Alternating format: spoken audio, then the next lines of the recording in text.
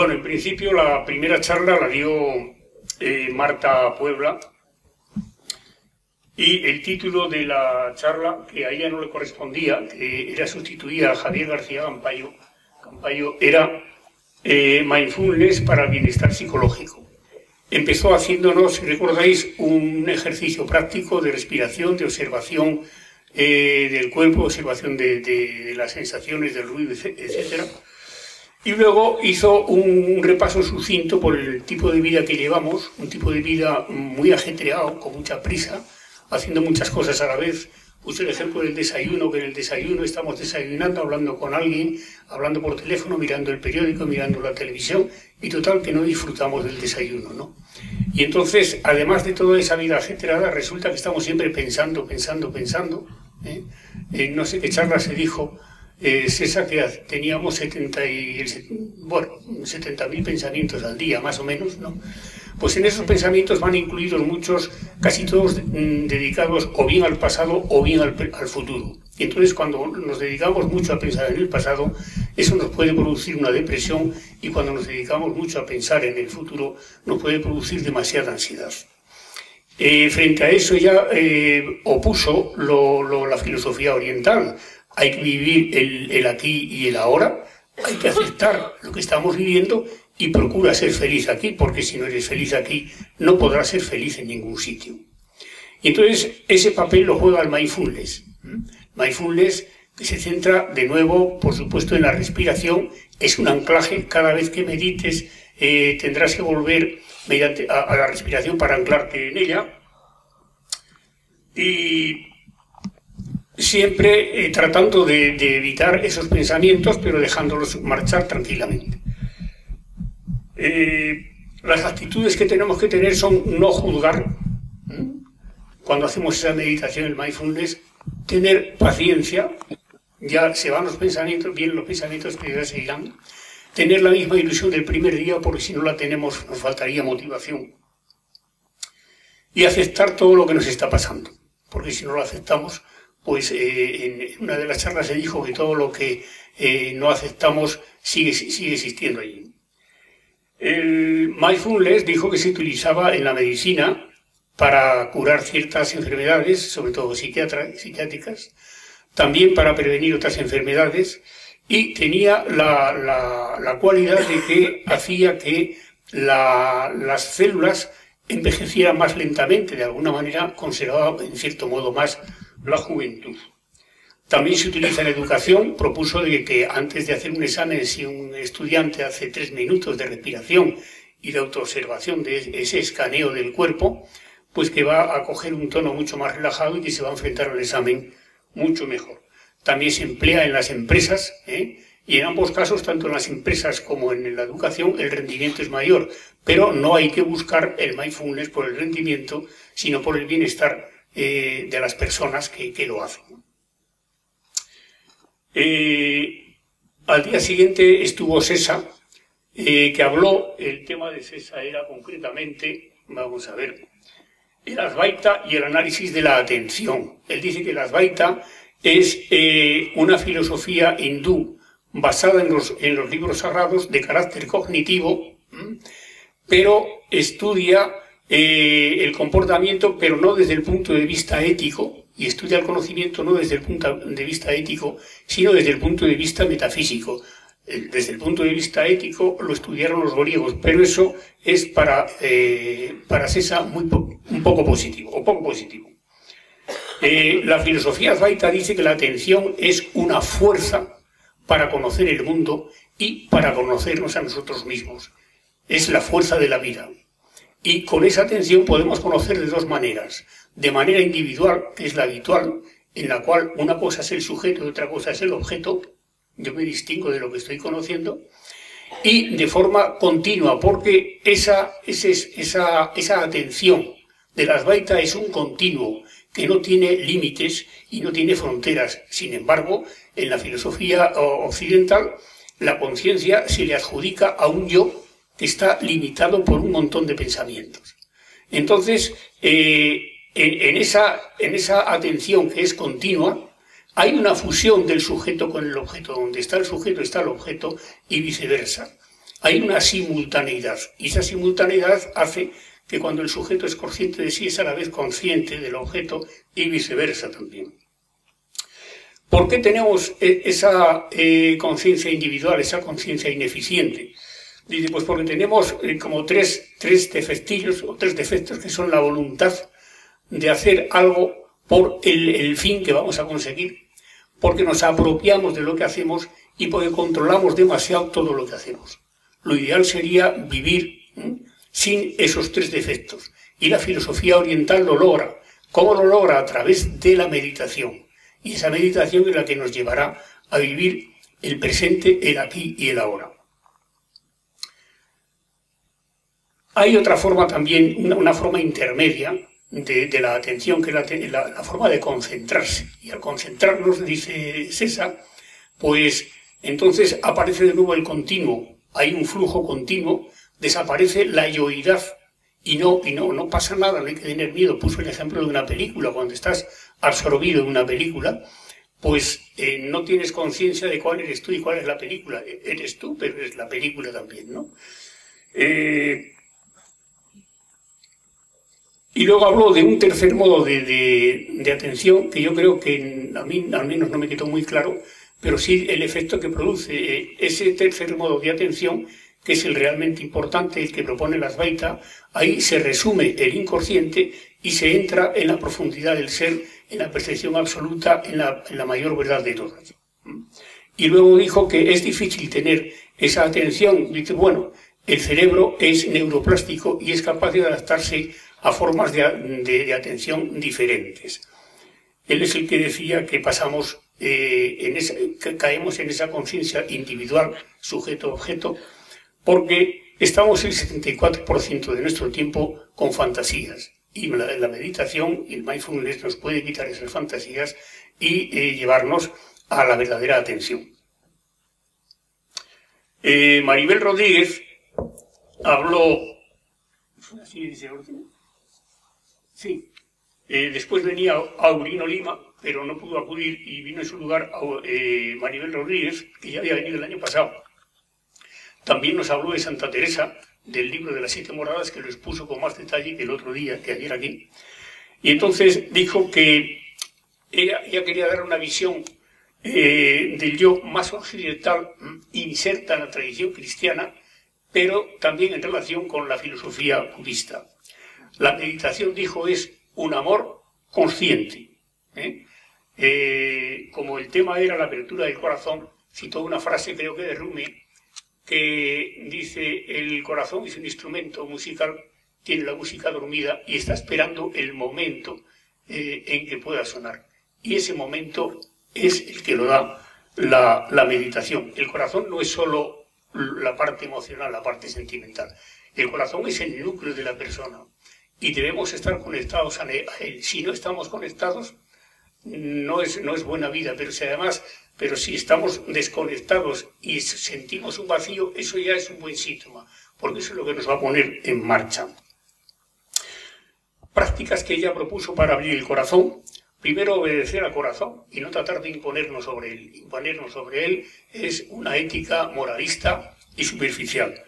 Después, dedicar tiempo a contactar con lo profundo. Es un trabajo progresivo que requiere esfuerzo, requiere perseverancia, requiere también, por supuesto, silencio, requiere observar y aceptar los pensamientos que nos vienen y rechazarlos, dejarlos, sin rechazarlos, dejarlos pasar. Ya se irán. Requiere también atención amorosa a los demás, primero a uno mismo, porque dijo, si no te amas a ti mismo, no puedes amar tampoco a los demás. La meditación está de esa manera conectada no solamente con el amor, sino también con la sabiduría, eh, similar a lo que propone Buda. Y eh, cito al final una frase de Santa Teresa, dijo, cerrar los ojos del cuerpo y abrirlos del alma para fijaros en vuestro corazón. Pero además de esa práctica premeditada y dirigida, existe una práctica informal. Cuando vas por la calle paseando sin prisa y tal, pues puedes hacer eh, una especie de de concentración y de, apertura del corazón, fijándote en los ruidos, en los olores, en los colores, en las personas, etc. Y porque todo tiene, dice ella, todo tiene una dimensión profunda. Si supiéramos ver la profundidad que hay en cada cosa, seríamos de otra manera. Y, y volvió a citar una frase de Santa Teresa, entre los pucheros también anda Dios. Es decir, no hace falta grandes cosas, entre cualquier cosa está, como decía antes eh, José Antonio Vázquez, está el, misterio. Y así es como yo descubro quién soy y descubro a los demás y los puedo amar. Esto tiene muchos obstáculos, entre otras cosas las, las distracciones que me pueden surgir. También la intención errónea dice, bueno, yo me pongo a, meditar y se me curará la, depresión con esto. También puede ser que queramos destacar sobre los demás y también puede ser que nos volvamos demasiado narcisistas y también que abramos el corazón, pero no para servir a los demás, sino para nuestro ego. Después hablo del castillo interior, del castillo de, perdón, del libro de las moradas de Santa Teresa, en lo que dice que el alma es como un castillo de diamantes con muchos aposentos.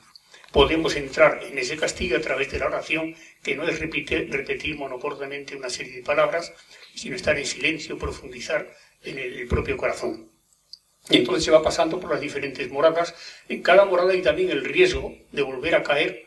Siempre hay subidas y bajadas en esa meditación, decía Maribel Rodríguez. Y ya solamente cuando se llega a la cuarta morada empiezan a sentirse eh, transformaciones de aspecto más o menos sobrenatural. Pero todo eso hay que vivirlo con humildad y con amor, no con presunción. Y ya en la quinta morada el, gusano, el alma es un gusano, pero se convierte en mariposa y empieza a experimentarse un deleite y una paz especiales. En la sexta morada se da un gozo eh, especial y ocurre el hecho de entender sin entender. Y ya en la séptima morada es la fusión mística con Dios. Dios y ella son lo mismo, son uno. No hay no dualidad. La mariposa que antes había salido del gusano ahora se ha convertido en Cristo. Bueno, Miguel Luthor, que fue a continuación, eh, es una herramienta para la exclusión social. Es un hombre que nos contó un poco su vida, que había pasado de la banca a, dedicarse a, cuidar un poco de los, de los invisibles que él decía.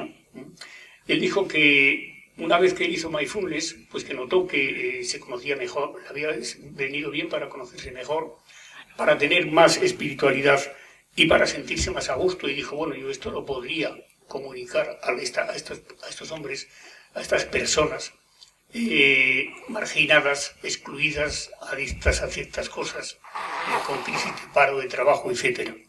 Y entonces, ¿por qué? Porque la paz que él experimentaba en la meditación también dijo que esa paz se experimenta no solamente en la meditación, sino cuando se tenía un encuentro con esas personas. Él eh, tuvo un empleo en un centro de acogida y allí le propuso a la jefa que creo que era los jueves, un rato, un rato los jueves por la tarde, eh, se reunieran los, los, los asilados allí a hacer mindfulness y lo hacían. Y notaba que cuando se relajaban, pues era más fácil para ellos expresar sus sentimientos, expresarse y comunicarse. También dijo que iba a, un parque, se veía gente marginal sentada en un, en un banco, procuraba sentarse en, en, ese banco junto a ellos si le aceptaban y si no, no.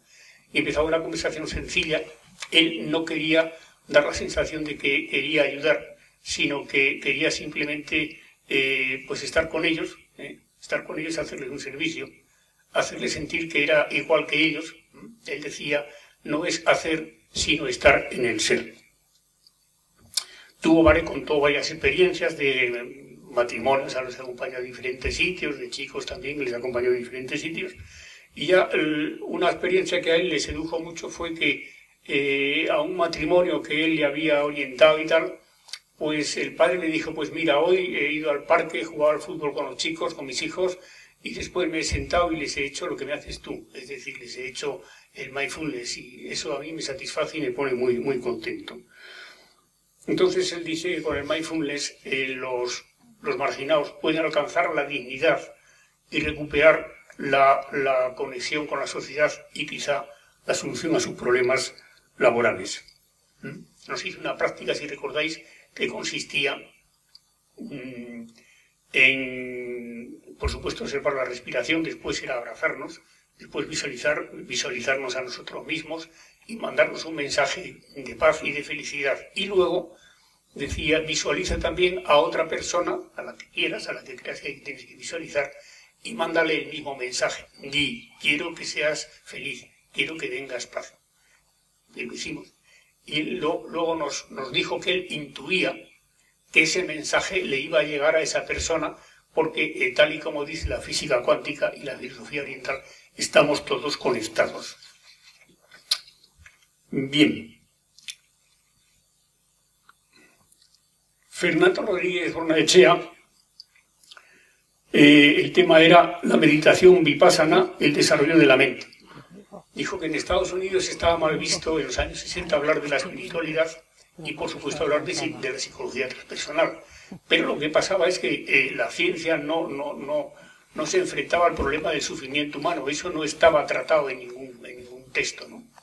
Hasta que Maslow lo que hizo fue eh, hacer eh, una escala de las motivaciones que nos, más nos, nos influyen, y eso dio pie para que en esa psicología humanística entrase en la universidad y de Rondón entró también la espiritualidad y también la psicología transpersonal. El, último punto al que ascendíamos en esa pirámide de Maslow era la autorrealización personal. Pero dice eh, Fernando que realmente eso llegó también a desvanecerse poco a poco, porque eso de obrar siempre para uno mismo, pues que, en fin, que tampoco tenía mucho sentido. Y se quería, eh, pues, obrar para otro, para otras personas, para otros niveles, ¿no? Y entonces, lo mejor, eh, lo mejor para eso, para llegar a otros niveles, era la psicología transpersonal. Y lo mejor para la psicología transpersonal, dijo, era la meditación, que requiere, por supuesto, mucha, mucha práctica, mucha perseverancia, mucha disciplina y mucho, eh, mucha perspicacia. Dice, pero cuesta hacerla. Porque una vez que te sientas, pues a los tres segundos, a los tres minutos, resulta que se te ocurren miles de cosas. Te vas, te vienes, te vienes, y resulta que es muy difícil hacerlo. ¿Cómo luchar contra, eso? contra eso? Él habló de la metacognición.